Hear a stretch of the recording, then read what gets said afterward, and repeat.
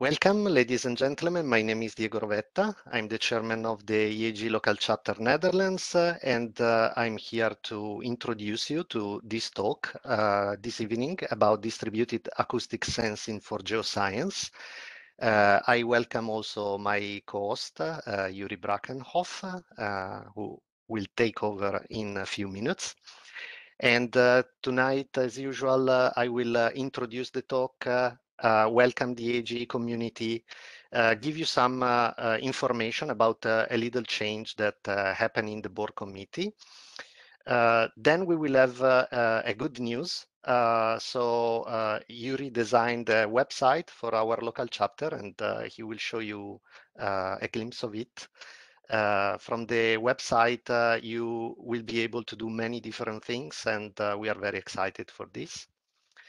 Uh, then, of course, the agenda of today, some uh, uh, house rules about using WebEx event, and finally, the introduction to the speaker, the technical talk, and the Q&A session after that. As usual, I welcome all the friends of the different local chapter, London, Paris, Oslo, and Aberdeen, but uh, tonight, especially also the local chapter Germany, uh, we have uh, a big number of attendees from uh, Germany the, uh, this time. So I welcome all of you. Uh, as usual, we are part of a bigger community, including the students, docs, Aachen University students and uh, also some other organizations like the Oslo Society of Exploration Geophysicists that, that are often uh, joining us uh, in our virtual events. So welcome to all of you. Uh, we are always looking for uh, new people that uh, could help us organizing this event. You will find us on LinkedIn. Each local chapter has its LinkedIn page, and you can contact us also by email. And this is the list of the email of these local chapters. Uh, from tomorrow, I guess, uh, you can also contact us through the website and Joeri will talk more about that. Uh, as I mentioned, there was a, a big, a, a, small change in our uh, board committee uh, members uh, in the past couple of weeks.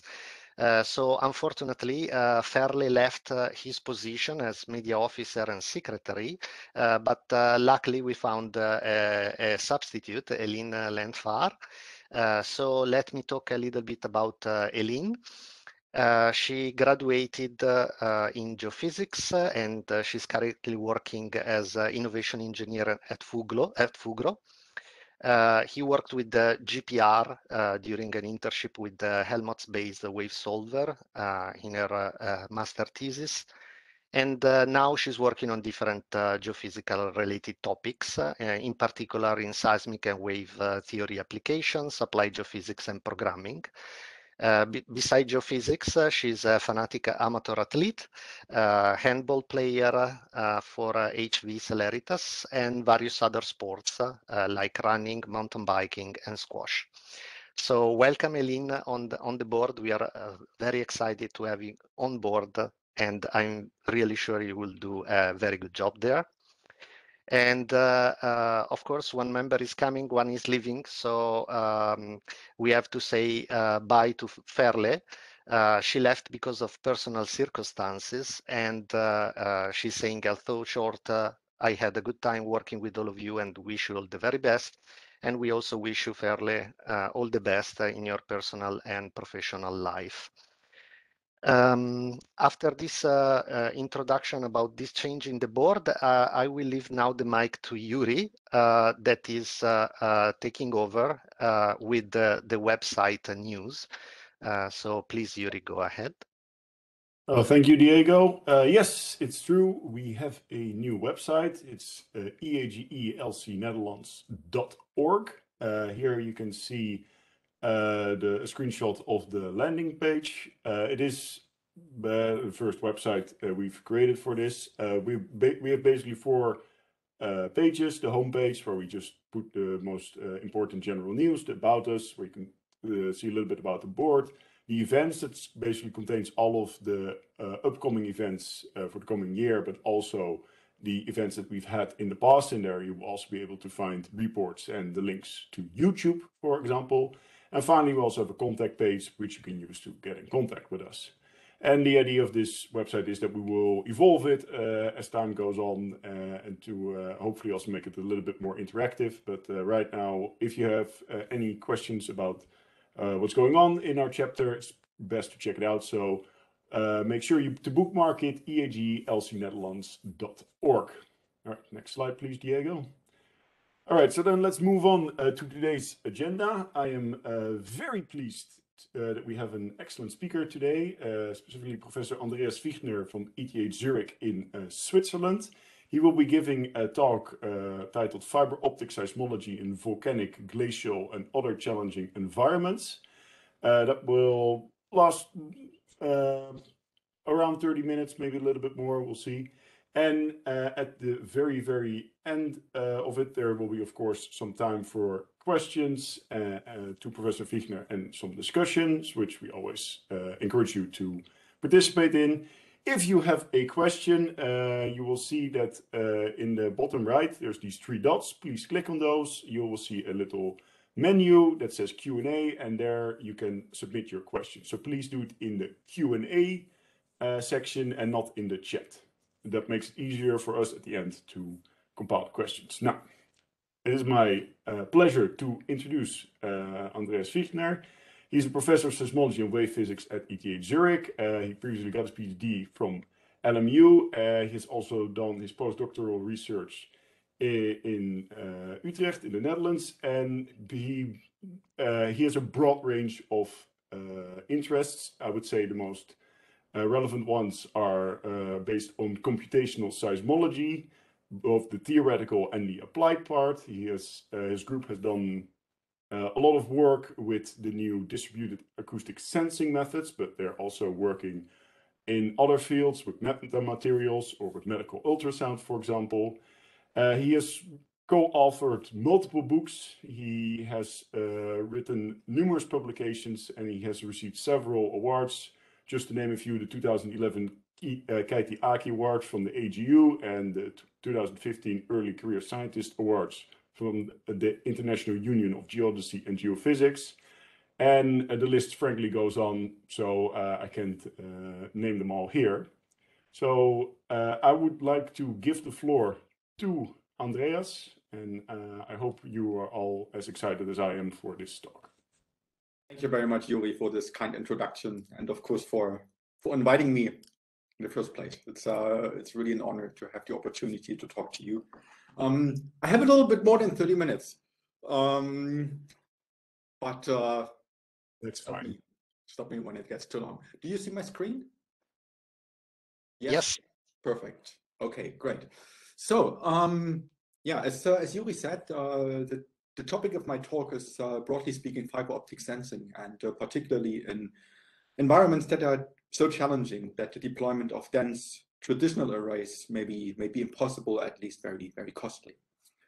I would like to start with the picture that you see here on the title slide. This is actually me uh, carrying a fiber optic cable in the Alps onto the Rhone Glacier. So the Rhone Glacier is between that ridge on which I'm walking and the higher mountains that you see in the background.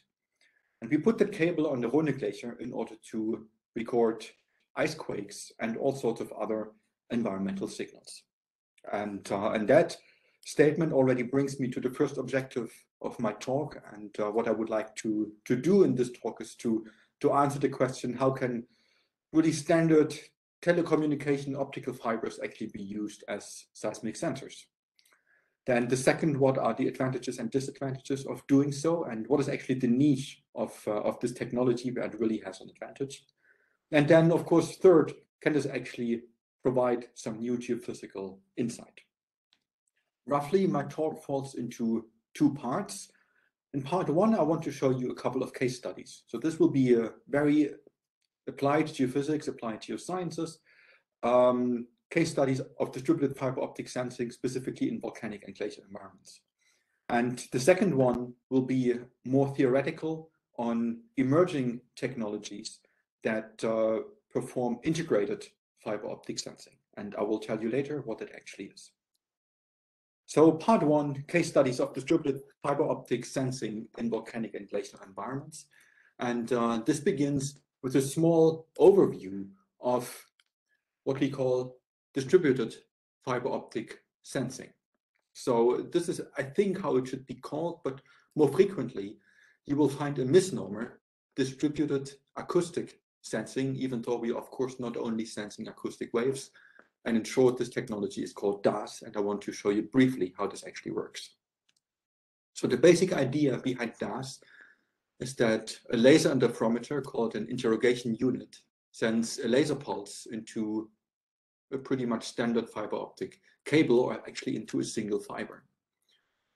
And within that fiber, there are small heterogeneities and that pulse, of course, gets scattered at those heterogeneities. And so part of the of the electromagnetic impulse travels back to the interrogation unit and gets recorded there. Then as we deform the fiber, for example, as it gets stretched by a certain distance, of course, those scatterers move a little bit. And this small movement causes a phase delay, phi, that can be measured by the interrogation unit. And then this phase delay can be translated back into deformation along the fiber. Now, the minimum channel spacing of those DAS sensors is about 25 centimeters over tens of kilometer. So that means, for example, you could have with a one meter channel spacing, effectively one seismometer or one deformation sensor every meter. And if you have this over one kilometer, you basically have a thousand seismometers. DAS has various potentials. The first obvious one that, that you may easily infer is that you can reach very high spatial resolution at actually a very low cost per channel. The other potential is that we can actually use telecommunication cables that already exist, meaning that we don't even have to install the cables ourselves. This is, of course, very attractive when we're looking at seismology in urban areas that are densely populated. And if we deploy cable, it actually turns out that uh, that quite often, even long cables that are seven, several kilometers long, uh, is relatively easy, even in terrain that is difficult to access. And I want to show you a couple of examples.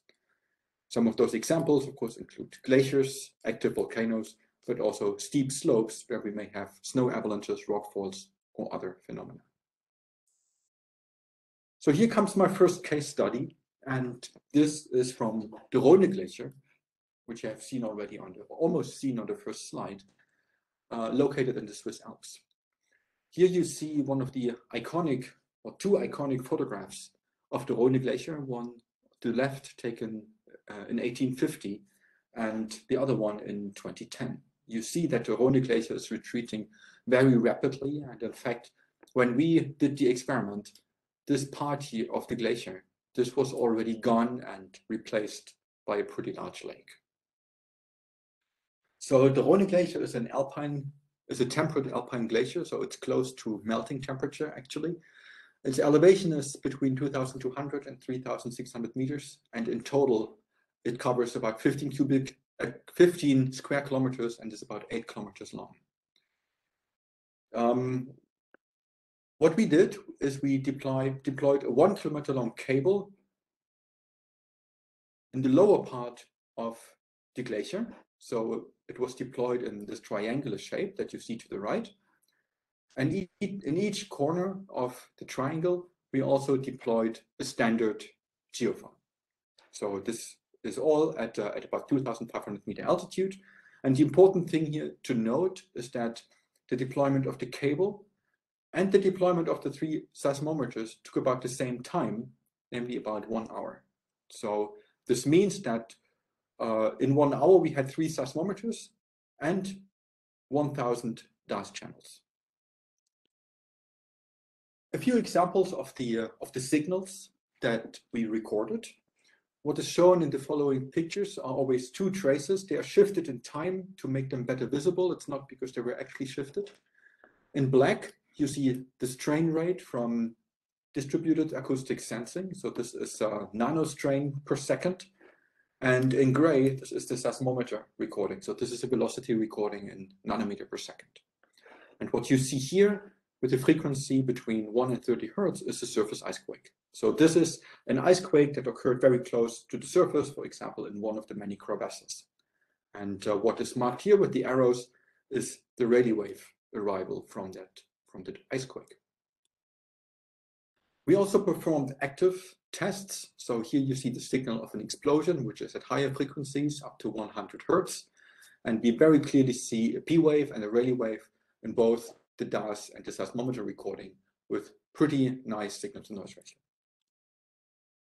This is the signal of a rockfall. We actually could see those rockfalls with the naked eye. We noted them, so we actually knew where they uh, know where they where they occurred.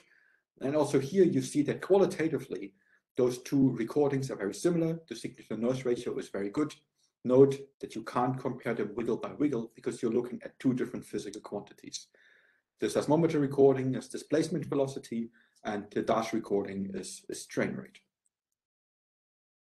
What really uh, caught our attention is, however, a different kind of events, namely stick slip ice quakes. So these are ice quakes that occur at the interface between the bedrock and the glacier. You very nicely see P wave arrival, but also an S wave arrival in both the seismometer recordings and the DAS. Now, what is interesting and, and, and, and most relevant here is that with the help of this DAS array, which of course gave us vastly more data than the three seismometers, we could greatly improve the location accuracy of those stick slip events. And this is what you see in the figure to the left. All the green dots are possible, plausible locations of one of these uh, stick slip ice quakes using data from three seismometers. And you see that it scatters pretty widely, meaning that the actual location of the ice quake cannot be constrained very accurately. However, in contrast, if you use the DAS data, the location of the stick slip ice quake can be constrained to actually within a few meters. Now, during the deployment, which was only one week, we recorded 48 other stick slip ice quakes. And what is interesting is they had nearly identical waveforms with a correlation coefficient uh, regularly uh, above 0.98. So for all practical purposes, the waveforms were identical. And what the DAS array allows us is, thanks to this high location accuracy, actually infer that all of those ice quakes happen in more or less the same region. So they all belong to the same slip patch, and uh, they also exhibit slip roughly in the direction of the overall flow. So some preliminary conclusions here. Uh, what we have seen, and this is, this is logistically important, is that the deployment of fiber optic cables on glaciers is actually quite easy, uh, and that just covering it with a little bit of snow provides good coupling and data quality that can compete with the seismometer recordings.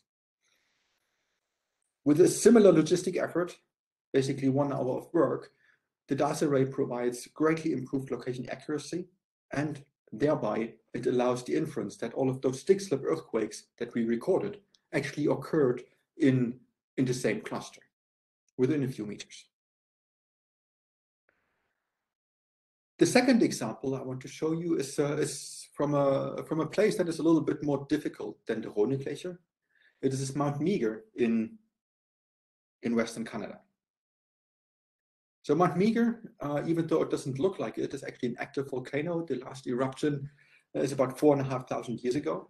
But what Mount Meager is really known for is uh, the largest historic landslide in, uh, in, in, recorded Canadian history that just displaced about uh, 50 million cubic meters. What makes uh, Mount Meager also very interesting it has, is that it has the highest geothermal potential within Canada, and it is still partly covered by a glacier that, however, is also retreating quickly. So on one of the ridges of Mount Meager, we deployed a fiber optic cable, which you see in the figure to the right in, in red. This cable was three kilometers long and located at about 2,100 meter above sea level.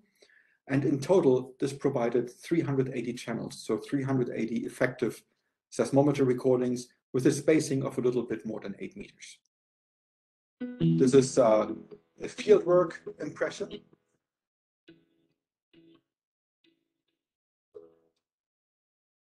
This is the campsite. Uh, we also deployed the geophone array in the Mount Meager area. Mount Meager is in the background. That's where we camped. All the equipment was brought to that ridge uh, using a helicopter. My students had fun as well.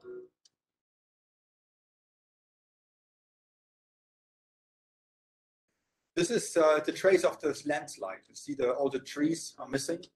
To the right, there's this, the glacier or what is left of it.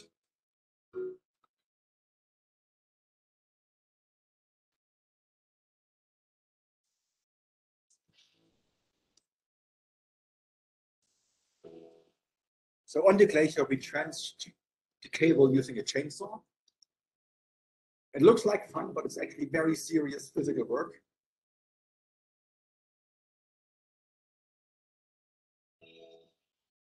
Imagine doing this for a distance of two kilometers. That, uh, that takes some time.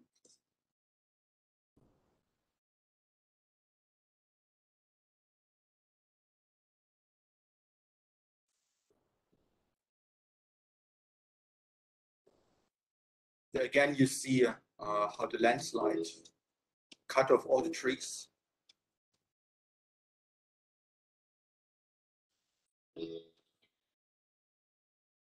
Okay. Now what you see here is the first impression of the data. It's one of the first things we looked at. What you see are 30 minutes of, uh, of data from 15 neighboring channels from December 20th, 2019.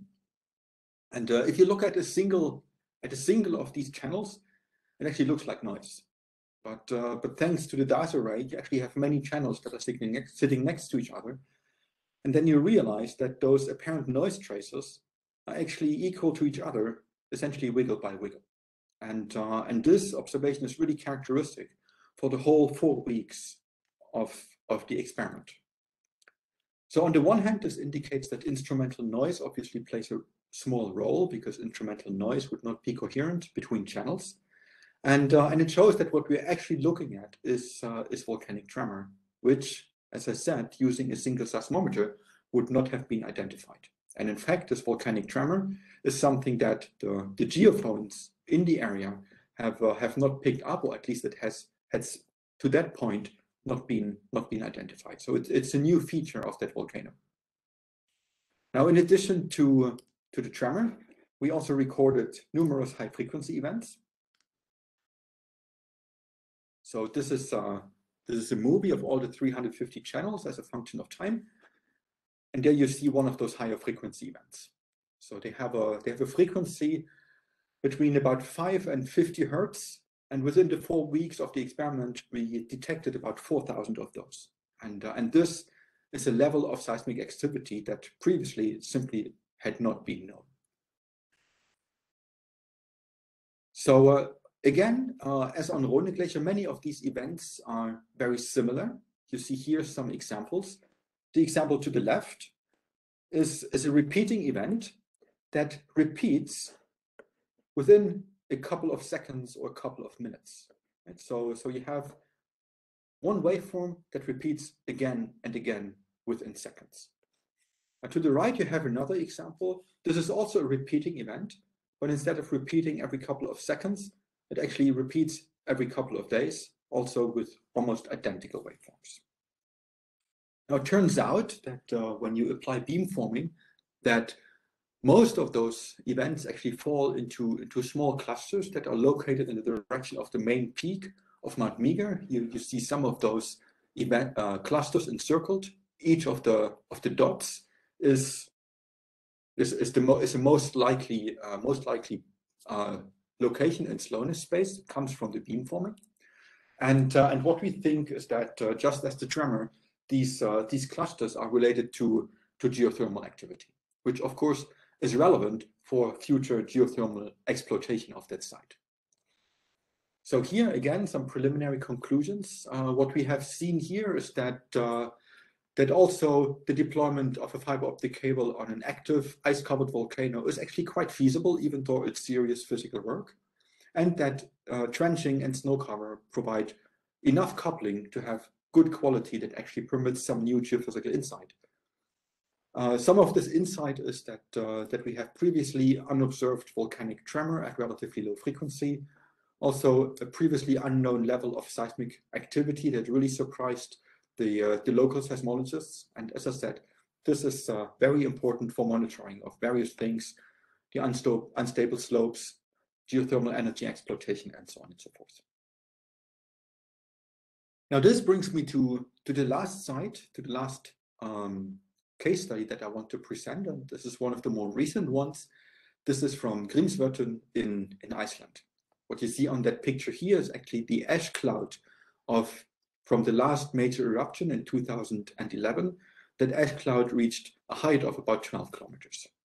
Uh, and of course had uh, a significant impact on, on aviation and, uh, and, and the, the local climate. So Grímsvötn is, uh, is actually Iceland's most active and also one of the largest volcanoes. As I have just shown, the most recent eruption was in 2011. The caldera, which you see here in the, in the center, has a diameter of 10 kilometers. So it is, a, it is a very large volcano. It is covered entirely by Europe's largest glacier, Vatnajökull, and, uh, and underneath the glacier, which is uh, and in that place about three, 400 meters thick, there's a subglacial caldera lake that is heated and kept fluid by, by geothermal volcanic heating. Grímsvötn poses uh, serious natural hazards, uh, mostly through flooding, but also ash clouds, and there is uh, there is a climate impact, uh, especially from from more historic eruptions that were significantly larger than the one in 2011. So on Grímsvötn, we deployed a 12 kilometer long fiber optic cable. You see this here in the figure in, in black. So it follows the caldera rim and actually goes to the central point of the caldera. What we did there was really blue sky research. We didn't have a real research object, objective. We were just curious. We wanted to see if such an experiment is actually possible at all. Can it be done? What kind of signal maybe record? Um, can we improve earthquake detection and location? And, uh, and also we wanted to know if we can actually detect signals that the regional seismometer network does not pick up. And, uh, and especially my my PhD student Sarah was very interested in figuring out why the caldera of Grímsvötn actually looks like Mickey Mouse. So. Here are some fieldwork expressions. Um, we deployed a cable with the help of colleagues from Iceland who built a sled that we used for trenching. So this is what you see here. So the cable here comes out of a PistenBully that are also, you know, like it's used on ski slopes. And then it goes into a plow the plow goes to about half a meter depth and then comes out in the back and the cables then trench to about 50 centimeter depth. The oil barrel that you can see on the sled was just in order to have to have a more significant weight in order to get into the ice. This is what this looked like in practice. So the PistenBully had the cable drum in the back you, see the cable drum. The cable goes into the plow on the sled and then comes out on, uh, within the ice at a depth of about half a meter. Some, some other impressions. Uh, this is a sundowner uh, on the caldera of Grímsvötn. We actually had a real sundowner with cocktails, uh, so the Icelanders know how to party, I can tell you that. Um, and the interrogator was located in one of these research huts that you see here to the right. There we had electricity and internet and so on and so forth. Uh, and of course also, and that's important in Iceland, a volcanically heated sauna. Uh, this is the central point of the caldera where the cable ended. So basically here at that point where my PhD students are, are digging, there's, a, there's 300 meter of ice below them, and then there's about 150 meters of water in this subglacial lake. This is an impression from the data that we recorded. This is quite typical. These are 40 seconds of data from May 7th, 2021. And you see two things in this recording. You see first a small local earthquake. This is at higher frequencies, and you see that this has uh, pretty high amplitudes on the order of about 100, 200 nanostrain per second. It, it is high frequency, and of these earthquakes, local earthquakes, we detected about uh, 1,000 per week and, uh, and this is important here. This is about uh, two orders of magnitude more earthquake detections than provided by the regional seismometer network. Um, what is also interesting and what caught our attention are these continuous oscillations that you see within the caldera. And so you see this, this uh, monochromatic up and down. Uh, it turns out that this signal is omnipresent. It's there for the whole duration of the experiment, the whole three weeks, and it has a frequency that is almost exactly 0.22 hertz. And uh, it only weakly correlates with the ambient seismic wave field. So what we see actually here is we see resonance of this floating ice sheet.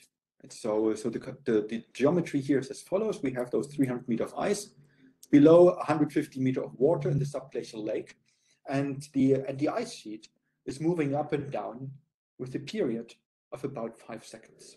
And, uh, and the strain rates that we observe over this large distance of the, of the caldera corresponds to a movement of about 0.5 meters up and down every five seconds. So, so what we have is actually a standing flexural wave that causes extension and compression at the surface where the DAS cable was located. Here's an impression of the spectrum of, uh, of those oscillations. So what you see uh, is the, uh, the amplitude spectrum of the DAS channels located inside the caldera. And the color coding corresponds to time.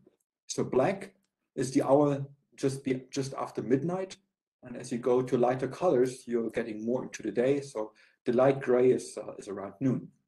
And you see, uh, as I said, that this is a very narrow spectral peak and that the spectral amplitude hardly varies over time. Now, what is interesting is, the, is that the shape of the spectral peak can be approximated very closely by the spectrum of a damped harmonic oscillator with a Q value of about 15. And, uh, and it turns out that uh, not only on May 7th, but throughout the experiment, the spectrum does not vary does not vary very much. So in contrast, this is what the spectrum of, uh, of ambient seismic noise looks like. So this is taken from a coastal station in Iceland. This is called KVI. Note that our DAS cable is here. And, uh, and it's the same day and the same time, the same time intervals, midnight and then around noon. And you see that first of all, ambient noise has a much broader spectrum and it also varies much more significantly over time. In this case here, the spectral amplitude varied by a factor of about three within only two hours, uh, within only 20 hours, uh, 12 hours. So you see that uh, that we are really looking at two different phenomena, even though they occur in, in somewhat similar frequency bands. So it turns out that we can invert for the for the effective driving forces of this resonance. So the, the driving, so the forces that keep this resonance going as a function of time, despite the relatively high attenuation. So we have a Q value of only 15. And, uh, and the result of those, of those driving forces in the frequency, in the time frequency domain are what you see here. So we have frequency on the y-axis, the days from the beginning of the experiment on the x-axis, and what we see is the, the spectral amplitude of the effective forces. And you see that low frequency sources that are not ambient noise are basically present all the time. Sometimes they're a bit stronger, sometimes they're a bit weaker. And we think that what we actually observe here is volcanic tremor, continuous volcanic tremor that is related to geothermal activity.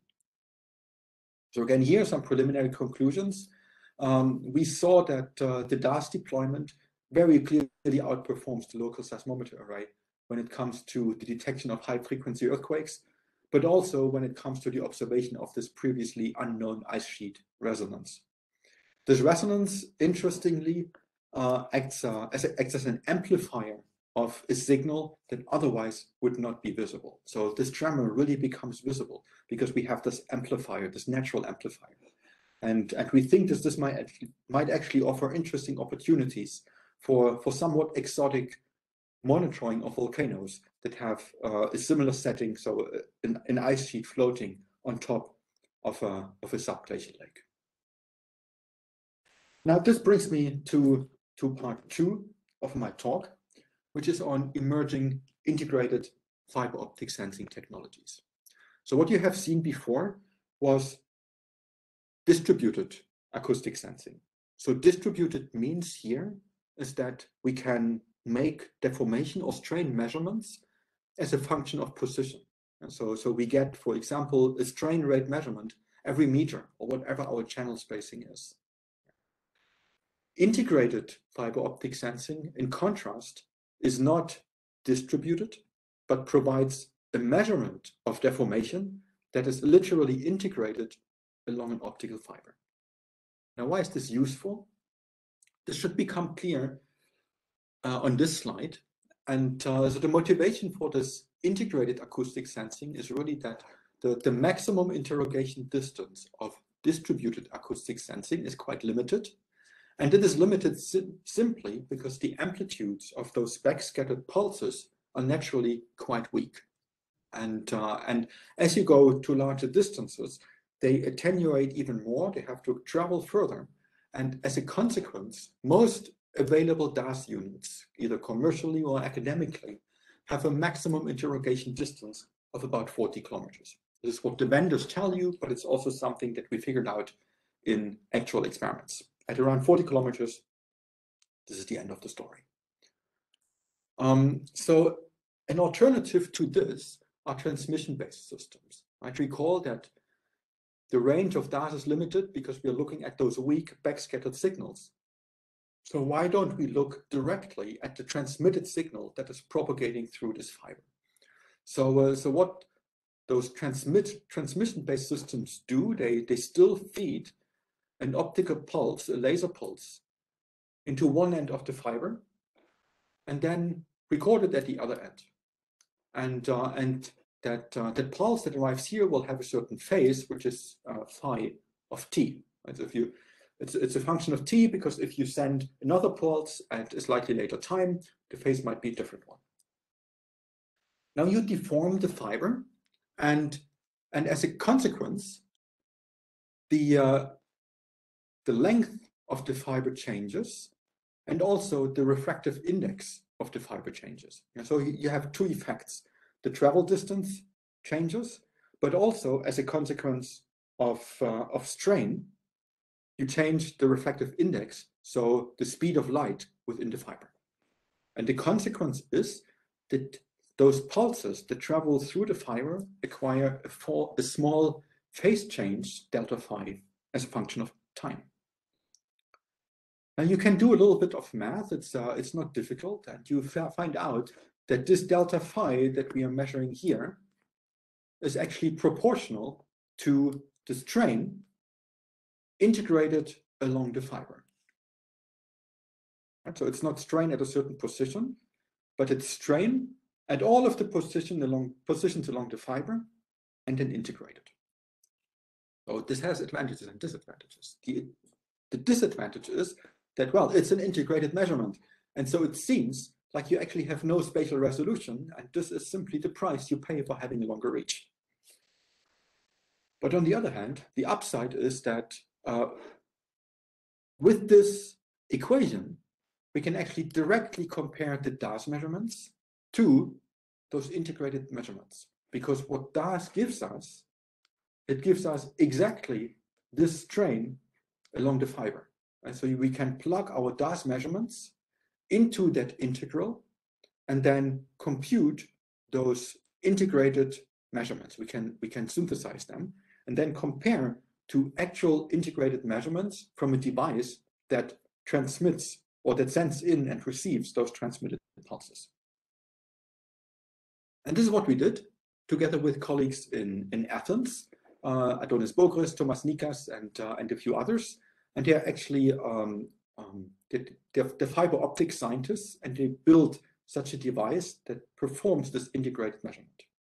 So what we did is we installed uh, their interrogator, the integrated interrogator, and our distributed acoustic sensing in a suburb of Athens. And then we hooked it up to a telecommunication cable that traverses the northern suburbs of Athens for a distance of about 30 kilometers. What you see here is a typical earthquake recording from the experiment that ran for about a month in, in September and October 2021. So on the y-axis we have we have uh, on the x-axis we have time. On the y-axis there's distance along the cable, and the colors are strain rate measured by all of the DAS channels that had a spacing of about eight meters over those roughly 30 kilometers. And then what we did is we integrated those DAS measurements along distance. And this gives us the blue, the blue recording. And we compared this to the actual integrated sensing that the colleagues in Athens did with their interrogator. And there you see that they actually compare very well in a lower frequency band of about uh, 0, 0, 0 0.05 to 0.1 hertz. We can also look at higher frequencies. So this is 0.1 to 5 hertz. And even there you see that uh, the actual measurement and the measurement synthesized from the DAS data actually compares almost wiggle by wiggle. Yeah, so um, so this, this was very encouraging. It basically tells us that this integrated measurement has a very high quality and it really provides provides data that, that are solid and that can be used for, for quantitative geophysical inferences. But a quick big question here is that if there's actually anything that can be done in order to, to transform this integrated measurement or to give those integrated measurements some sort of spatial resolution. So can we do anything in order to obtain some sort of distributed information from those measurements that are inherently integrated? And it turns out that, that this is possible. So if you do a little bit of math, it turns out that this first equation that I have shown you, that this uh, integrated phase delay is an integral over strain, as a partner that is exactly equivalent and that tells us that the phase change as a function of time is an integral over fiber curvature times displacement of the fiber. So what this means is that inherently parts of the fiber that are more strongly curved are more sensitive to deformation than other parts of the fiber that are less curved. And here you see an example, it's a synthetic one. We have a source at the position of the black, star, black star, and that source radiates a wave field, of which you see a snapshot here. And then we have two cables, one in black and one in red, located to the left. Now the black cable has a total length of about 2000 kilometers and it produces the phase delay recording that you see here in black. Now, one thing that you see already is that even though we have a single wavefront, we actually have two wiggles, two pairs of wiggles in this phase change recording. Now, the red fiber has a much shorter length. It's only about 1000 kilometer long. And it also produces a phase change measurement that you see here in red. Again, we see two wiggles, even though we only had one wavefront. But what is also interesting is that actually the amplitude here for the short fiber is about the same as for the long fiber. And the reason simply is that even though the short fiber is shorter, it is more strongly curved. And that strong curvature offsets or compensates the, uh, the, short, the short length of the fiber and as a consequence, this phase change measurement has a similar amplitude than we have for the long fiber. So, uh, so here again, the statement that strongly curved fiber segments are more sensitive to deformation and they actually produce individual distinguishable wiggles. And this is something that we can exploit for our purposes. And here's how this goes. So the question we asked ourselves was, how does for example, the arrival time of one of these individual wiggles, so within a certain time window, actually depend on the structure of the Earth. So what we did is we put a window, here window A, around one of those wiggles. We measured the travel time of that wiggle, and then we apply, applied the adjoint method in order to compute a sensitivity kernel.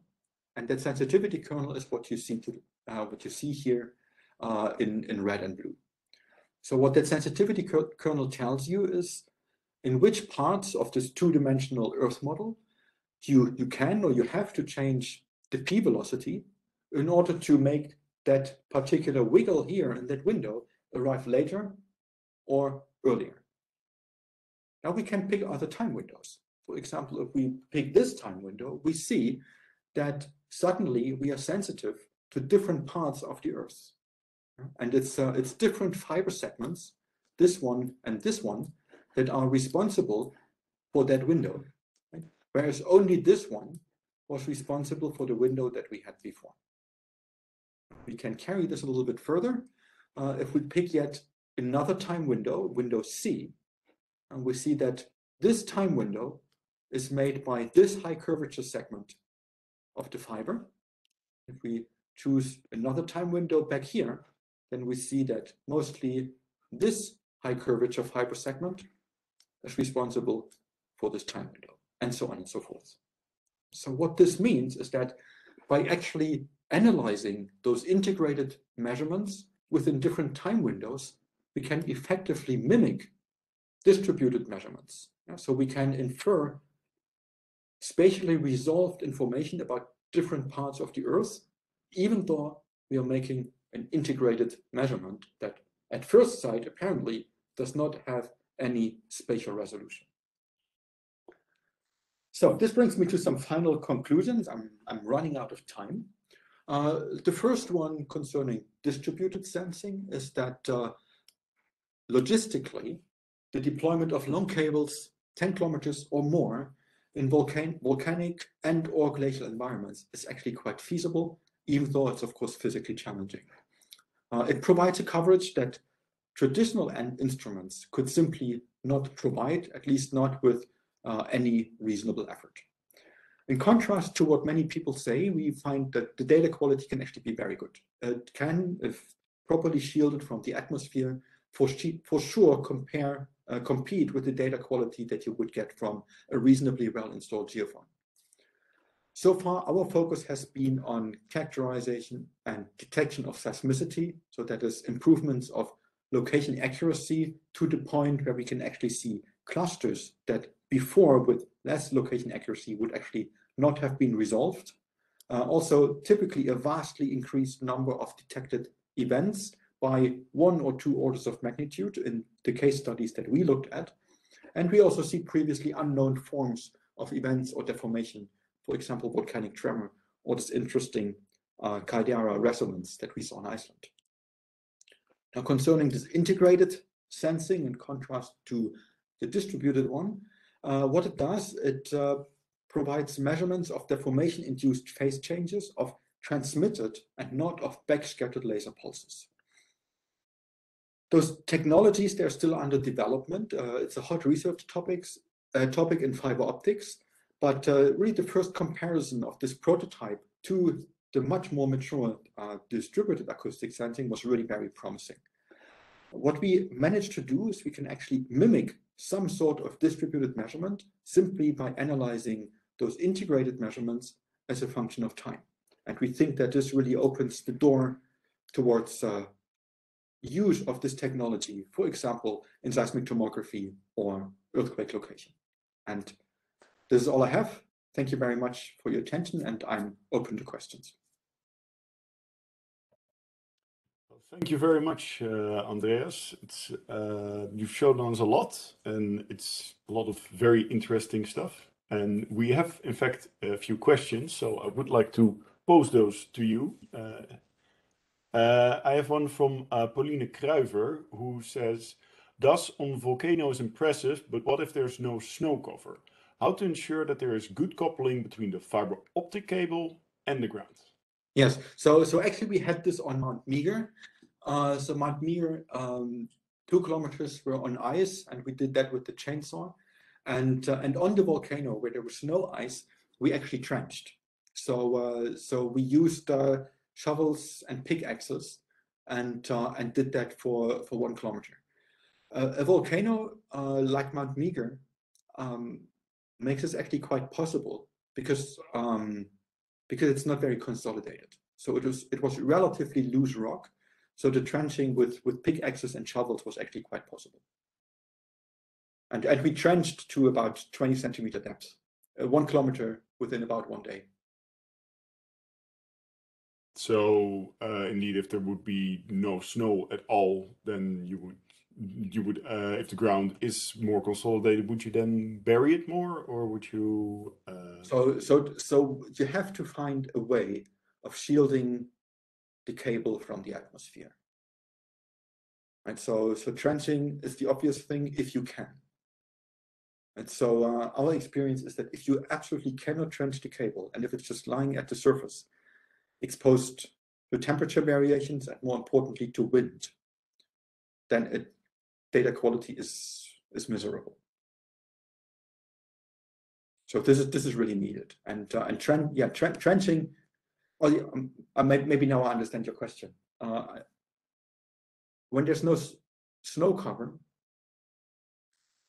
yeah, you, you have to trench. And in our experience is that trenching to about 10 to 10 to 20 centimeters is enough. Maybe um, I can uh, remind to the attendees that they can unmute themselves.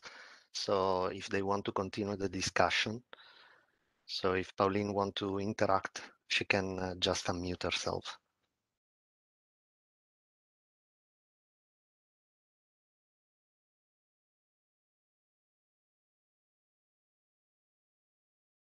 Uh, if not, then I would like to go on to Jaap Mondt, who has a few questions. Uh, Jaap, do you want to uh, unmute yourself and ask them directly? Uh, Pauline seems to be unable to mute herself. Uh, Diego? Okay, I will unmute them uh, then. Pauline, I think you are unmuted now. Yes, I am unmuted now. I, I could not press the button. It was great. Well, I, I will do it for you then. Okay. Okay, so uh, thank you very much, uh, um, Andreas. It was very, very interesting talk, and it's good to hear that trenching for only 10 to 20 centimeters is sufficient because uh, uh, otherwise it would be really a lot of work. Yeah. Uh, shall I then also ask my second question? Uh? Yes, please go ahead. Okay. Go ahead. Because for, for the second part, for the integrated sensing, well, I, I think my question is, do you need two interrogators for that one at each end? Uh, so um, this, this, this would be a possible setup. What the colleagues in Athens did, they actually used a loop. So uh, so the, the cable went 30 kilometers in one direction and then looped back. Oh, okay. And, uh, and that made sure that uh, that you could directly compare the um, the, the the transmitted the transmitted signal to an incoming signal. And so you could you could correlate them directly without having timing issues. Right? So this this is the bigger challenge. So yeah, so so you need you need a, an emitter and you need a receiver. But the real challenge when they're not sitting in the same place is that you need to synchronize them. Yeah. And uh, and to avoid this uh, synchronization problem, at the moment they're using loops. So uh, so all the devices are sitting on a single anti-vibration table in the lab. Yeah, smart solution. Thank you. They are very smart people. I was really impressed. They built this interrogator. It uh, it costs about two orders of magnitude less than a commercial DAS interrogator, um, and they built it from from off-the-shelf um, optoelectronic uh, components. Very very impressive. Yes, great to hear. Thank you.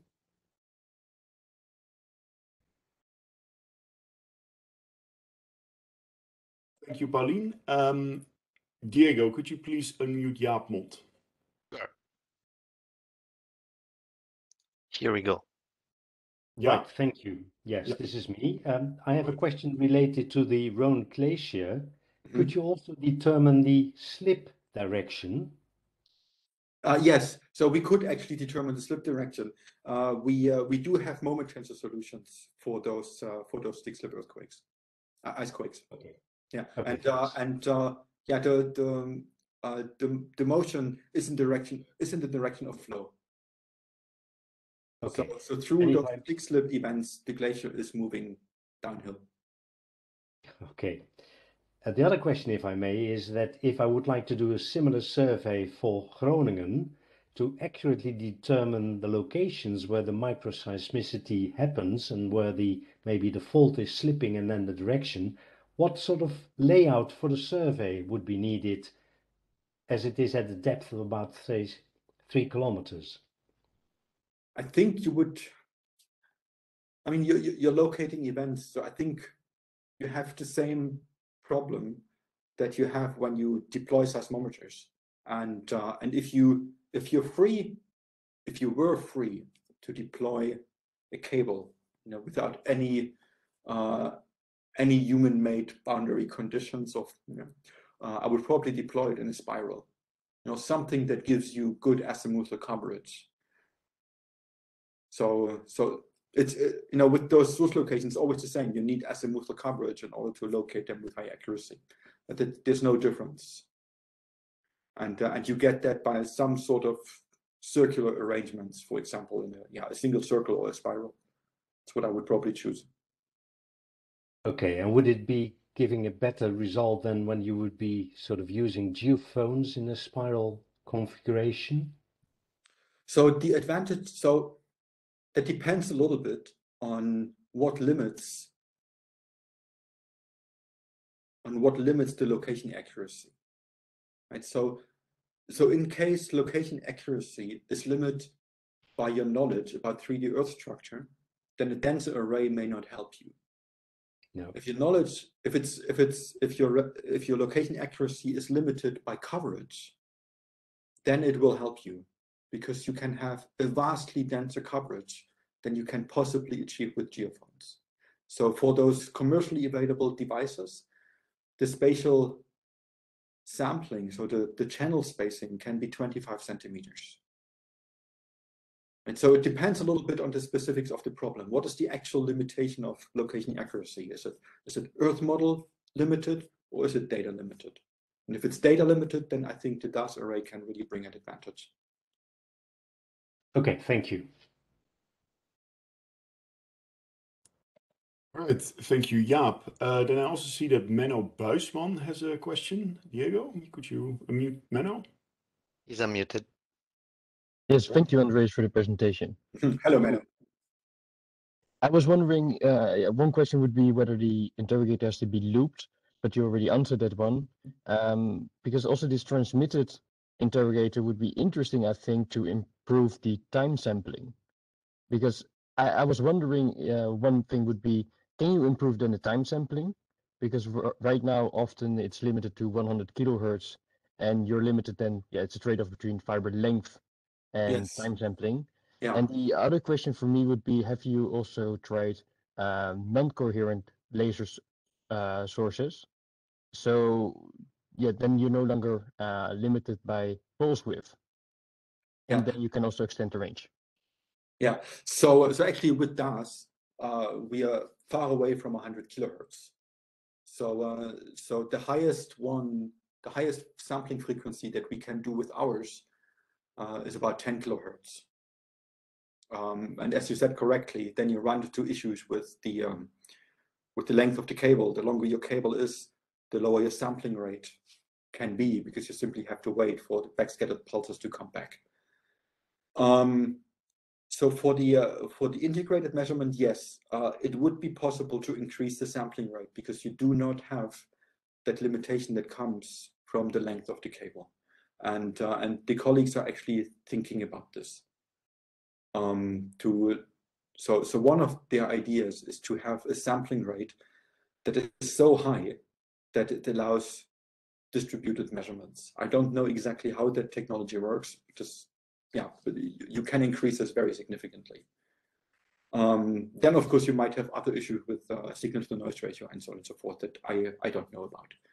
And concerning uh, incoherent uh, laser signals, no, I mean, um, we only have used two systems. So the one the, is, is the, this commercial IDAS from Silixa that, that we're using, and the other one is the system that the colleagues in Athens produced, and it's both coherent. Okay, thank you. Looking forward to see those uh, transmitted uh, interrogators. Yeah, it's uh, uh, I think we will see them within the next couple of years for sure. Right, Menno, thank you for the question. Um, then I also see that Kees Hornman has a question. So uh, if Kees could be unmuted. He's unmuted. Go ahead. Thank you for your presentation. I enjoyed that. Uh, my question was regarding the mimicking of distributed sensing from integrated sensing. You show that in a picture with a, a two-dimensional plane where the curvature, the curved cable, is in the plane of the ray parameter between source and your cable. Does that, but uh, suppose that the source is perpendicular above the cable or below that cable, then there is no curvature there anymore in that direction. This is Does correct. that mean that your technique would only be applicable for surface sources? Um, I would not say it's only applicable, but it will work less, uh, less well. So, so here the the crux of the problem, which you in a way already realized, is that curvature is a vectorial quantity in this case. So actually, what we're looking at is is the is the normal vector of this uh, of this fiber, and uh, and what we what we have actually here in this equation fiber curvature times displacement is actually a vector product. So it's strictly speaking, it's a non-normalized normal vector and the dot product of that with the displacement field. So if your displacement field uh, is orthogonal to the normal vector of the fiber, then you would not record a phase change. So that means in ex exactly as you said in your configuration, if you put that source out of the plane, then this fiber would not record the P wave, but it would record the S waves. Because in that case, the S wave, which is not shown here, uh, the S wave would actually have a polarization that is parallel to the normal vector, and therefore it would actually produce a phase change signal. And so it's it's similar as for for for conventional distributed acoustic sensing where you have a directional sensitivity, where directional means both direction of the fiber and its interplay with the direction of the polarization. So depending on how they how they're arranged, you may record P waves more or S waves more, and so on and so forth. Right, thank you. Yes, in, indeed. And for ordinary DAS recordings, then they came up with the idea of a, a helically shaped cable. So I already see that your next step will be here a three-dimensionally curved cable in order to see that in all directions. So, so, so the thing is actually here for this, uh, I think you could figure out what the measurement in the end actually means. Uh, for DAS, when it comes to helically wound fibers or cables, the concern is always what exactly is the measurement? Uh, you, you may see more wiggles that correspond to P waves and to S waves, but their quantitative interpretation becomes very, very difficult. Right. Okay. And they're excessively heavy and expensive, which is why they're hardly used. So for actually field deployments, as we do, uh, wound cable is completely useless. You just can't carry it. Understood. Th- Thank you. It's, thank you very much, uh, Kees. Then I think we have uh, time for one final question, which is actually from one of our panel members, namely uh, Hannes Kutscha. So Hannes, uh, would you like to ask Andreas your question? Uh, yes, thank you. So, uh, but the question just has been uh, answered a little bit. Uh, so my question was if these uh, cables can be used uh, more in, yeah, what happens when the signal comes from perpendicular to the cable? So how much would that limit you? But I think you just answered this question. In that in that case, I have a final question. So uh, I saw you mentioned the flexural ice wave, which is an old uh, friend of mine because I was uh, working on this on uh, Arctic acquisitions, and I was wondering if you could uh, use uh, the information of the dispersion of this wave to localize the events. Um, The dispersion of which wave? Of the flexural ice wave. Oh, if, you could use the dispersion of those flexural waves. Yeah, to localize events because uh, this is what uh, um, what it could happen with the guided waves is that there is a strong relation between uh, the geometry, the location of uh, of your source, and uh, the dispersion of this wave. These are uh, very highly dispersive waves. Yeah. Um, so in this case, I don't think it's possible because the because the frequencies are too low. right? So, so we are here in a situation where the where the wavelength is about 10 kilometers, and that is about the size of the whole system. So, Okay. uh, so we're actually not looking at a dispersed traveling wave. We're looking at a standing fundamental mode. Okay, I see. and uh, and with that uh, we can't really localize localize and uh, and it seems like all the the higher modes or anything that would travel is not excited or at Ah. least not measurable Okay, I see. Thank you very much. you're welcome thank you Okay, I believe that's all the questions we've had uh, so far. So uh, I think, Andreas, thank you very much again for not uh, only taking time to present, but to answer all of these questions. Uh, I'm thanks a lot everybody, yeah, indeed, it's it's really great that you took the time out of this. I know you're very busy. yeah thanks for thanks again for the invitation it was really a pleasure um uh, If yeah, I thanks and have a have a good weekend Thank you, Andreas. I will take uh, other uh, just one minute to uh, advertise our next event. Uh, it will be the 13th of April. Uh, it's co-hosted with uh, our friends of the local chapter Germany, and uh, uh, it will be about multi-method imaging in environmental geophysics with Professor Florian Wagner from Aachen University giving this talk. And uh, my very final uh, slide is, as usual, the acknowledgements. And uh, here I thank again uh, Andreas for his presentation and to be with us uh, uh, for this event. Uh, but also I would like to thank uh, uh, Aramco for, for, providing the WebEx event a platform and the other local chapter for their participation. And with this, um, yeah, I close the, the event, stop recording now, and I wish you a very good weekend as well. bye bye